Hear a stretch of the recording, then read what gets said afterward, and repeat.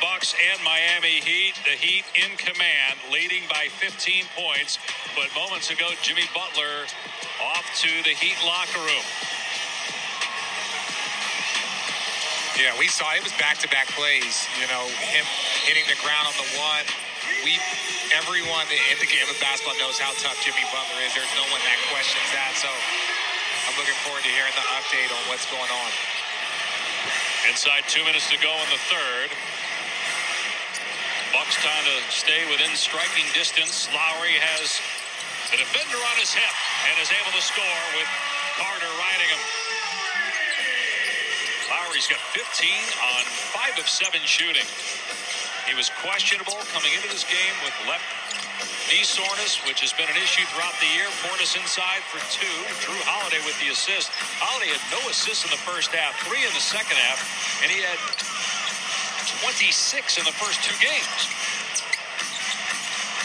Here's Oladipo in the paint. And, and look, I, I, the Bucks offense hasn't hasn't been really the problem. They're shooting 50% from the field and three. It's just their defense hasn't been what you would expect. Connaughton misses. Here's Carter for three.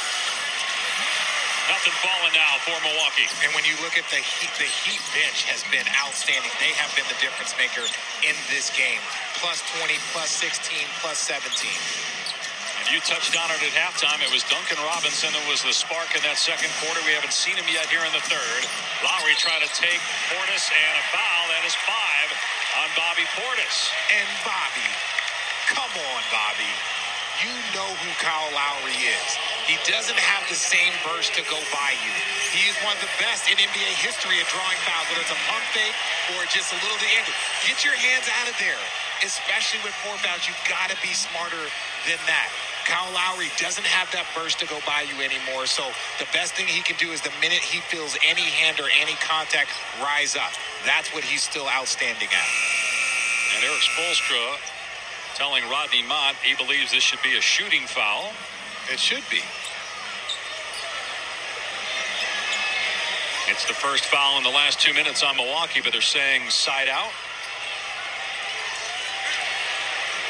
Middleton checks back in with Portis going to the bench. There's Lowry off the Zeller screen. Oh, what a cut by Martin. And he tried to save it, but out of bounds. He wasn't expecting he wasn't expecting that little thread through the needle. And that's what look, when you have a point guard like that, especially running your second unit, the, the bench players should get better shots, better understanding of the game, be put in the right spot. They're just put in a very good position to succeed. Middleton from mid-range. He's got 20 points now.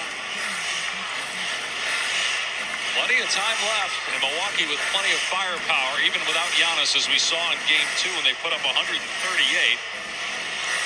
Their highest point total in a playoff game since 1978. About a two-second difference in the clocks here at the end of the third. Three to shoot for Lowry, and he fires away over Ingles. Two seconds to go. Holiday from midcourt. No good. And the quarter comes to an end. Miami still in command. 15-point lead over the Bucks. One quarter to go in game.